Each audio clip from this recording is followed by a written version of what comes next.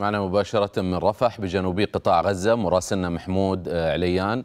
محمود ما أبرز التطورات الميدانية ماذا عن تقدم الجانب الإسرائيلي؟ هو سيطر على ثلثين من منطقة فيلادلفيا لكن أيضا هناك كان بالأمس دخول لبعض الأحياء في رفح التي تم إخلاؤها من السكان. ماجد هذا ضمن المرحلة الثانية للجيش الإسرائيلي. سيعمل في مناطق أكثر عمقا من المناطق التي يصلها الآن وبما تشمله أيضا من مناطق محور فيلادلفيا. هذا المحور طوله 14 كيلومترا.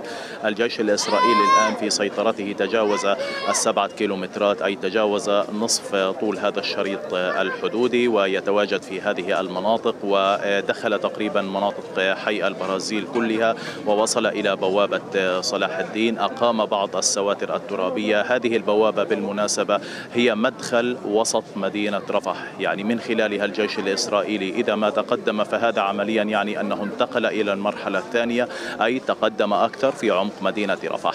يمكن أن نفهم بأن الجيش الإسرائيلي أيضا باستدعائه لواء خامس لواء النحال الذي عمل في مناطق حي الزيتون وتولى أخيرا منطقة تأمين محور نتساريم الآن يصل للمشاركة في القتال في داخل مدينة رفح وبالتالي نحن نحن نتحدث عن خمسة ألوية موجودة الآن في مدينة رفح ستمهد للعملية المقبلة. حتى اللحظة الجيش الإسرائيلي يقصف بالمدفعية مناطق واسعة من وسط وغرب مدينة رفح لكن مع تقديرات أممية بأن أكثر من 800 ألف فلسطيني غادروا المدينة هذه وضعية تضع الجيش الإسرائيلي ربما في مرحلة الانتقال إلى الخطوة التالية في تقدمه إلى هذه المناطق التي كانت تشكل له تحديا حتى أمام الإدارة. الأمريكية بسبب وجود هذه الكثافة السكانية الكبيرة الموجودة في مدينة رفح.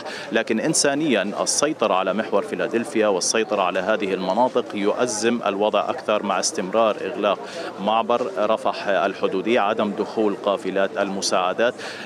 منسق أعمال الحكومة الإسرائيلية قال إن ما دخل من الرصيف العائم هي 12 شاحنة فقط. نحن نتحدث عن تقريبا 700 طن دخلت من هذا الرصيف حتى اللحظة وبالتالي أمام هذا الاحتياج الكبير للسكان الفلسطينيين الموجودين في مناطق المواصي ومناطق دير البلح فإن هذه الشحنات نسبيا لا تكفي إلى كل هذه الأعداد. وبالتالي لاحظنا خلال الأيام الماضية أيضا بأن هناك تكثيف من محاولات الإنزال الجوي للمساعدات على مناطق تحديدا غرب خان يونس التي يعاني منها الفلسطينيون من صعوبة في الوصول إلى المياه صعوبة في الوصول إلى الغذاء وتحديات أخرى كبيرة. لكن نشير أيضا ماجد إلى أن هناك غارات لم تنقطع حقيقة على مناطق خان يونس وأيضا مناطق المحافظة الوسطى. في بيان مشترك للجيش الإسرائيلي والشباب قال إنه قتل مسؤول كبير في الذراع العسكري بحماس في خان يونس مسؤول عن وحدة تصنيع القذائف المضادة للأفراد. وكذلك أيضا في منطقة حي الدرج مسؤول بارز في الإعلام في حركة حماس استطاع